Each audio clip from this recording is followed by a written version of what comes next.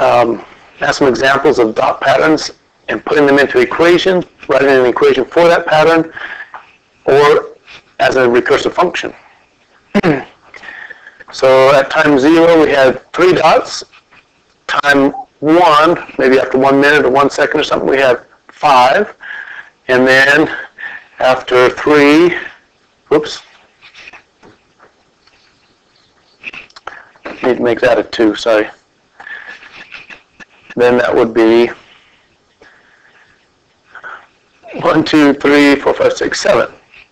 Well, you can see that it's just adding on two new dots each time. So I need to come up with an equation that increases by 2 each time. So the number of dots is equal to 2 times the time.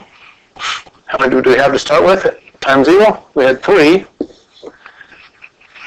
So let's plug in a 2 and see if we get 7. So 2 parentheses 2 plus 3 is 4 plus 3. Yeah, that gives us 7. so as a recursive function, we could say f of 0 equals 3 and f of n equals f of, or we could even call it f of t, I guess.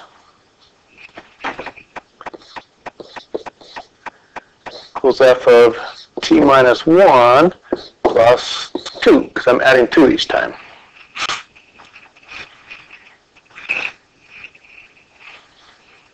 Okay, starting out with 3 dots, and then I have 9, and then I have, let's see, I have a, a group of 3 there, a group of 3 there, a group of 3 there. There's a group of 3.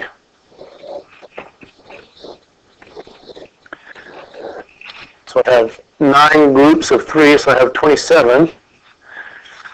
So the number of dots is being multiplied by 3 each time.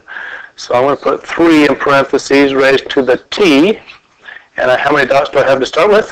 I have 3.